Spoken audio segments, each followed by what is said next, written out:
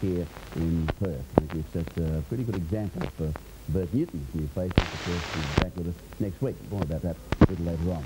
Right, tonight, of course, uh, all the hard work. Some cognac brandies claim to be hundreds of years old. But five centuries ago, before cognac was thought of, the French province of Armagnac was already producing a brandy so fine, the French kept it a secret among themselves. Today, Chabot Armagnac is enjoying worldwide prestige. Smooth yet potent, pungent yet subtle. Chabot, the original Armagnac, a thoroughly individual drink, a unique brandy.